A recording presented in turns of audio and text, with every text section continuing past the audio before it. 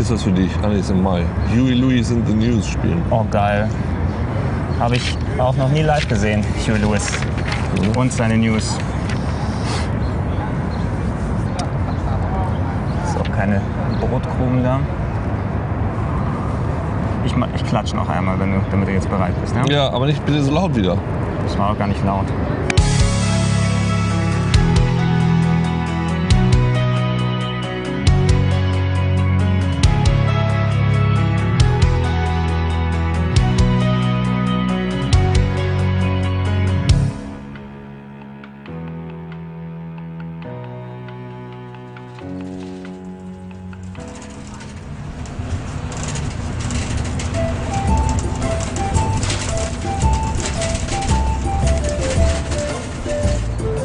Liest du einfach in der Zeitschrift weiter? Ich warte, bis du anfängst und dann Vielleicht, schon. vielleicht habe ich ja schon angefangen. Nee. Du fängst ja mal mit Moin Moin oder Hallo? Ja, aber ich glaube, ich weiß nicht, sollte ich den Beitrag dann mit diesem Part hier anfangen oder lieber mit was anderem? Weiß ich nicht. Weiß auch nicht. Ach komm. Moin, moin und hallo, herzlich willkommen hier im wunderschönen New York. Ich bin der Gregor. Warum sagst du eigentlich immer, ich Warum, sa warum sage ich das eigentlich? Das ist auch kein Podcast. Wieso mache ich das Nee, überhaupt? der Gregor vor allem, das ist das, was ich nicht verstehe. Wir, wir wohnen noch im Norden, das machen wir doch nur im Büden, ne? Im, Sü im, im, im Süden. ich, bin, ich bin der Sepp, ich bin der, der Schnitzelhuber Alois. Also wir, wir sagen immer, ich bin der, oder gibt es auch noch die Gregor? Ähm, Und wahrscheinlich. deshalb willst du das irgendwie so, so ja, ab, äh, ab, ich, äh, ich äh, reduziere mich ja durch den, den Einzelnamen, bin ich ja mehr eine Kunstfigur als eine Person. Ne? Ich bin der Weihnachtsmann. Nee, du ich, bist eigentlich immer schon eine Kunstfigur gewesen. ich bin mir auch noch nicht ganz sicher, ob ich mich dich nur einbilde. das wäre auch ein sehr, sehr schöner Film. Das wäre nee, wär so, ein- so, ein- so ein Horrorstreifen. Und Oh, hallo, ich bin der Uke. Jetzt klingt es sehr creepy. Siehst du? Ja, wir können ja mal ein bisschen kurz erklären, was wir hier in New Vielleicht York... sollten wir das machen. Weil Vielleicht sollten wir das machen, bevor wir hier eine halbe Stunde Der, wer über... da auch immer jetzt ist, denkt andere so, hä, wieso, hä, Sachen- wieso sitzt ihr in New York und ich bin hier zu Hause, es ist total kalt und irgendwie die Jungs haben es voll gut und, und äh, warum? Ja. Äh, Ich hatte ja seit, seit langer Zeit den Traum und den Wunsch. Ich, äh, beides oder was? es, ja, es hat sich die Wa- Gleichzeitig. es hat sich die Waage gehalten und manchmal Ein- hat sich ein bisschen vermischt. Traumsch. Nee, Nee, ein Trunsch. Trunsch. Ein Trunsch. Ein Trunsch oder ein Baumsch? Ein Trunsch, ja. ein Trunsch oder ein Baumsch.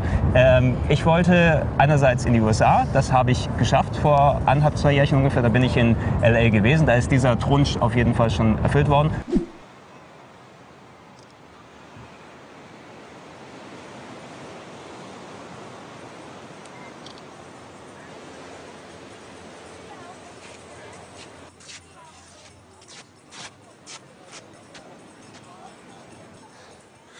Moin, moin und hallo.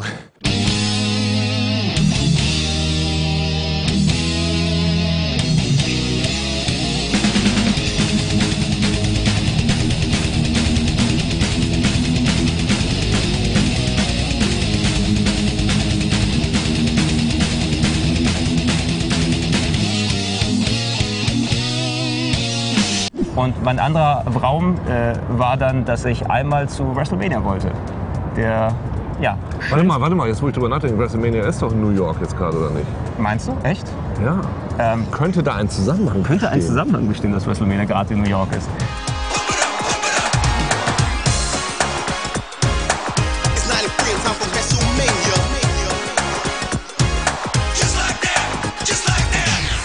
Und äh, da ich in der Vergangenheit ja schon mit äh, WWE-Leuten und WWE-Stars Kontakt hatte für Interviews, für und so weiter, Man könnte sagen, du bist berüchtigt. ich, die, die kennen mein Gesicht schon. Das ist schon als, als äh, Auslage dort. Einige der Superstars wenden sich schon prophylaktisch von mir ab ja, und tun einfach so, als ob sie mich gar nicht erkennen.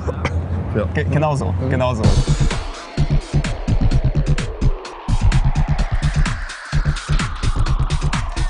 Moin, moin und hallo. Ich bin der Gregor, Moderator des Game On Plauschangriffs. Und äh, ich will heute mit euch sprechen, weil ich will bald eine neue Webserie starten, ja, in der es um meine Abenteuer in Hamburg geht, die G-True Hamburg Story. Habe ich mir selbst ausgedacht. Ne? Und ich habe sogar einen coolen Spruch. Take care, buzz your hair. Woo woo woo. You know it. Hey, are you serious, bro? You stealing my gimmick? You're stealing my show? This isn't Z True Long Island Story. Who do you think you are, bro? You don't even have hair to spike. Are you serious? What a joke. Das war nicht geplant. Aber ich hatte in der Vergangenheit ja schon ein bisschen was äh, mit denen zu tun und habe gedacht, okay, ähm, wenn ich schon nach WrestleMania reisen will, ich frage mal einfach an, ob ich da vielleicht noch mal ein bisschen drumherum mit denen machen kann und sie was erledigen kann. Denn ich wollte es ja im besten Fall dann auch mit der Kamera für mich zumindest aufnehmen. Hier komme ich ins Spiel, denn Hier ich darf du die. Kamera für ihn halten. Es, es ist sehr schön, dass du auch darfst, Gerne. gesagt ja, hast. ja, ja, gerne. Das ist, äh, äh, mache ich gerne für dich. Und falls ihr das jetzt sehen könnt, habe ich mich dazu entschlossen, da auch mal ein kleines, schönes Roadtrip-Video zu schneiden. What? What? What? What? God damn. Hat tatsächlich funktioniert. Und äh, sehr nett von Uke eben gewesen, als ich ihn nach Tipps ausgefragt habe, hat er sich angeboten, selbstlos. Ja, Mitzukommen. ja ich komme mal mit, mach für dich die Kamera. Ich helfe dir ein bisschen. Ich helfe dir ein kleines bisschen. Das Dann- schaffst du doch eh nicht in der Ja. großen Stadt, Gregor. Komm, das ist doch Quatsch. Hotelbuchen, komm, ich mach das, ja. Mach das mal klar, dass ich mit da. Besorgst mir ein paar Tickets, kein Problem, bin ich dabei. Ja. Letzten So bin ich, so bin ich. So ist er, so Was, selbstlos. der, guckt euch den an. Hier, guck an, was der, was der hier trägt. Das ist, das ist bunt. Hier, diese Schuhe. Hier. Das ist, der würde ich alleine äh, keine Sekunde überleben.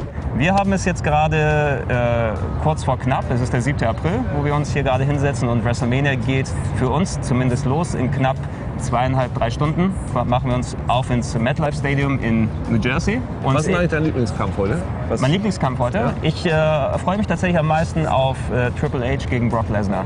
Und du glaubst, dass Triple H gewinnt? Ähm, ich bin mir ziemlich sicher, dass Triple H gewinnt. Time Time to play the game.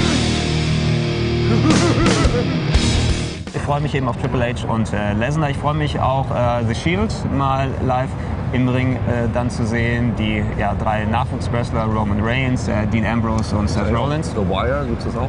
Ähm, es kommt wahrscheinlich danach. Ne? Also wenn dann...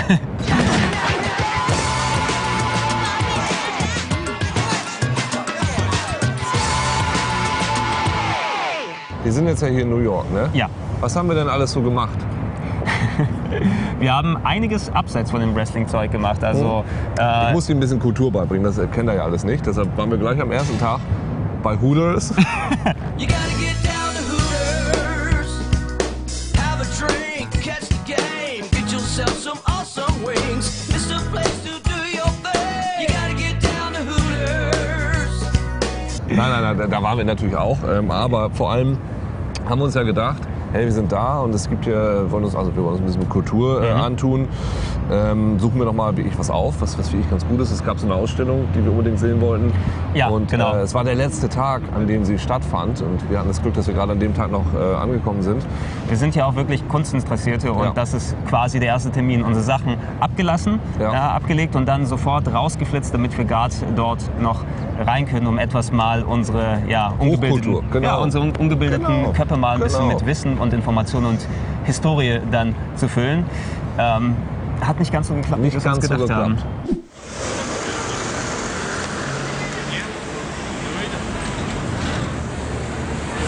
Ja, mach doch. Ja, achso, es läuft schon. Ja, ja. Ich, äh, Okay, gut.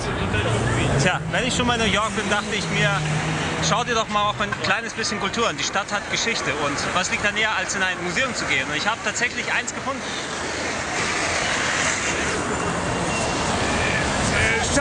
So.